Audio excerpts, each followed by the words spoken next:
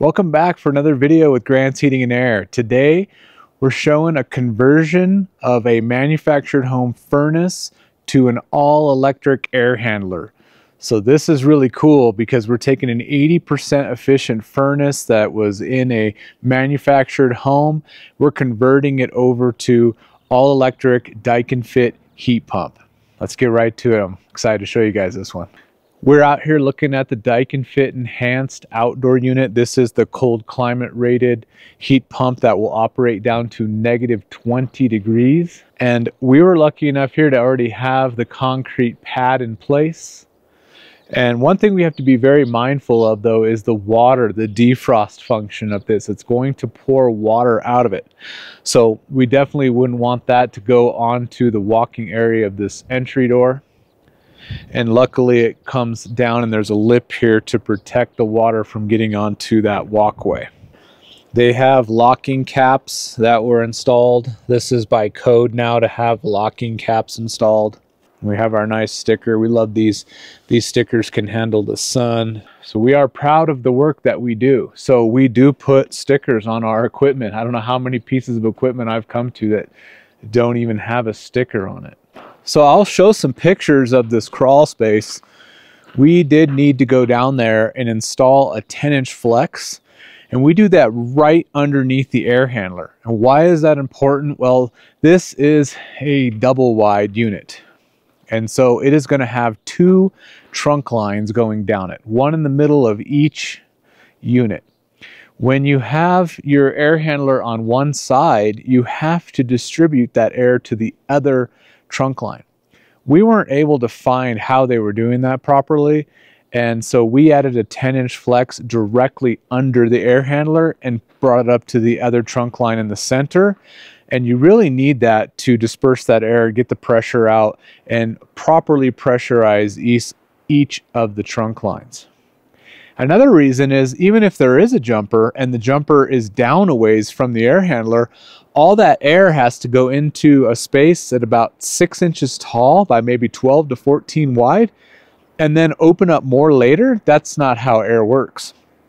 You need to have you need to have a large opening that gets smaller and smaller and that's how you keep the proper static pressure. We also made sure that this system is going to run quiet. So that's very important that we don't over pressurize manufactured duct. Manufactured duct is very small. And I'll show you a picture of it here versus the standard residential duct that we're used to dealing with.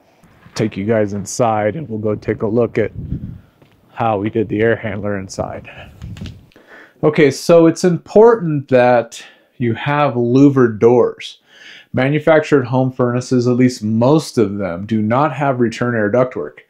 Therefore, you will have transfer grills over each of the bedroom doors and the main door here entering the mechanical laundry room. So this is important to leave these open, guys, including the bottom one. Then the main door is the same. This is where the air handler is located. Small return grill on the bottom as well. Now, one of the biggest struggles with changing from a manufactured home furnace, which are cheap, they're not built well, and they're way overpriced. What the challenge is in these areas is that our standard residential furnaces are 29 deep, 30 inches deep. This closet area would 29 would put us in the door. We would never make it. So one of the nice things about our all electric air handlers is that they're only 20 deep.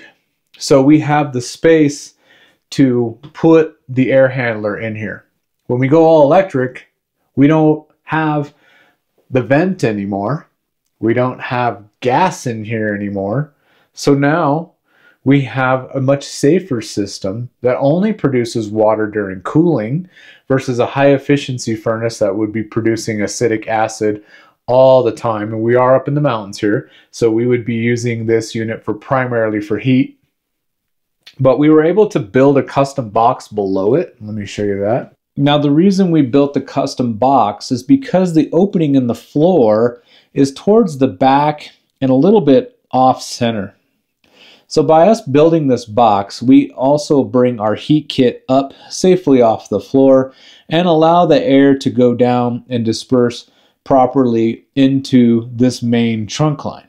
Now below that, we did add that 10 inch flex to bring the air to the other side. And I'll show you a picture of that flex in the crawl. We have a P-trap, of course, because this is a negative pressure. This unit isn't a downflow application everything's turned around. You know, why you see the Daikin stickers upside down. Everything is down. Um, we do have to do a slight conversion for the coil. The coil gets turned around. Some different things happen here to get the coil in that position. But it is important to use the clear P-trap that we like to use so we can see if it's getting full of any schmuckus or anything like that and make sure that that gets cleaned out. And this is really easy with these caps to clean. There is a breaker over here on the side. This is a 60 amp breaker. There is an 8 kW heat kit in here as a backup heat source.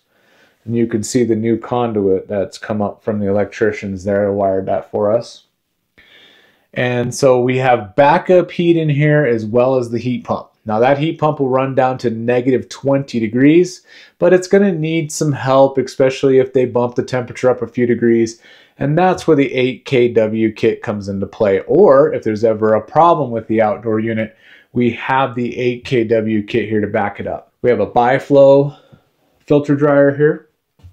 And you know, like I've showed in my other videos, we love our handy dandy four to five inch filter, optimal cleaning, low static pressures, and up to six months between filter changes. With an open plenum design on the return, we just leave this open to the box in here, just as the other furnace would pull its air from this room.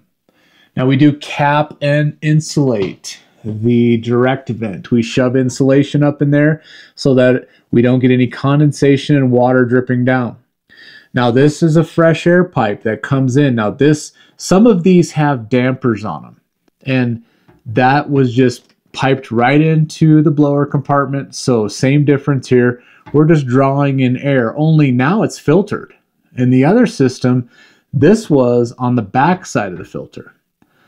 So at least now we have this outdoor air filtered.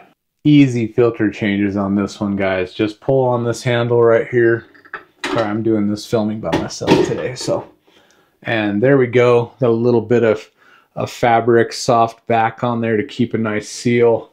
There's your filter. Just slides right out, slides right back in. Another thing I wanted to say is that these air handlers come with a one inch filter rack. I do not ever recommend using this. Go for the big filter. Drop those static pressures across this static pressure is their biggest enemy, I feel like, in this business. People don't understand air and statics and volume and all kinds of things that make a system work properly. We need the right airflow. We need to keep the statics at a certain point so that it's not a loud running system. Here we did add our safety switch. So this switch, if the primary drain ever blocks up, safety switch will fill up full of water. It'll break this connection and there is an alert terminal built in on the control board on these that will send an alert to the thermostat so everybody knows there's a problem. Very nice. The retrofit of a standard manufactured home furnace into an all-electric system. We are up here on propane, so this is making a lot of sense for this customer. We do label our power to let people know where to shut things off. And here again, we use stickers because we're proud of our work and we're going to put our dates on here and what we've done. We do commission these and we do rebates for them and we did pull a permit as well for this. So there you go. We can fit an all-electric air handler inside the smaller closet of the manufactured home furnaces that will not allow a standard furnace to fit in here because of the depth. But who needs gas furnaces anymore when you've got super efficient heat pumps and electricity at 9 cents a kilowatt and propane up here is pushing over $2 a gallon. So there's quite a bit of savings in operation. And not only that, this thing is quiet. This thing can cool and heat. And the customer is going to be very comfortable with this system. This is our Daikin 1 Touch, the smaller version of the Daikin 1 dial. Let me show you this a little bit up close here so you guys can see. So nice big display of what the temperature is in the room. So here we go. We just click that little flame on the side and now we've got all our settings. Auxiliary heat just runs the indoor heat kit. This emergency heat will shut off the outdoor heat pump. We do have heat, cool, and auto settings, which is nice, so we can do both. Of course, up, down by the arrows here, or just drag this up and down. You got your little three little hamburgers up here that'll get you into the settings of the thermostat where you can change your mode, schedule when you're away, change display, sounds, reminders, date and time, set your Wi-Fi. Here's your account information so you can set it up to your phone and the app. And by the way, guys, the app is exactly the same as this. And then you've got your humidity settings if you put a humidifier on there and just some more information about the equipment support. And this support actually allows us as dealers to see what's going on with the equipment and we can also adjust it if the customer allows us to do that. Super easy to use. Schedule button at the bottom if you want to get to that quickly. This is going to be your away mode and this will be more information about the air. Hey guys, thanks for coming along with this one. This is fun. I really like just making things that weren't that great. Like those mobile home furnaces are they're just not great. And then you go to something like this, which is so comfortable, so efficient, and it fits in that space. It actually uses up less space. And the customer is going to love this system for years to come. With Daikin's 12-year part warranty, we have a three-year labor warranty. They've got nothing to worry about.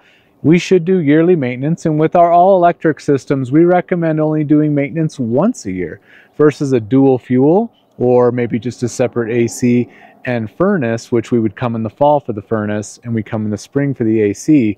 With an all-electric system, we really just need to come in the summertime and take care of the heat pump, make sure everything is good. We have a long checklist of things that we do. Our service technician takes about an hour to complete just the heat pump. And then the air handler would be a little bit more, but the air handlers are so simple. I, love it. There's there's no igniters, there's no flame sensors, there's no inducer motors, there's no gas valves, there's no drains, there's no none of that stuff going on. And it's just so much simpler and I think a lot safer. There's no gas to catch on fire, to catch to do flame. There's, you know, really there's no carbon monoxide. That's a big one, right? There's no carbon monoxide coming out of this system. And you don't have to worry about the vent getting full of snow and ice. And it always has that backup heat kit just in case a big storm comes in and knocks out that heat pump somehow. We've got that 8 kW kit in there keeping the place warm. So you know, and one thing to keep in mind about these systems as well is we're going to have a lot longer runtime. So we're going to have a long time for the heat pump to do what it's going to do, but that is so much more comfortable. And that is the way these things are designed. So that is a normal operation of this system. And that's one thing people have to get used to with heat pumps is one, it's not going to be as hot out of the register and it's going to run three times or more longer, especially with inverter compressors. So I really like these. These are great. Thanks for coming along. I really enjoy showing the installations and what we can do for customers. And we'll see you guys on the next one. Thanks a lot.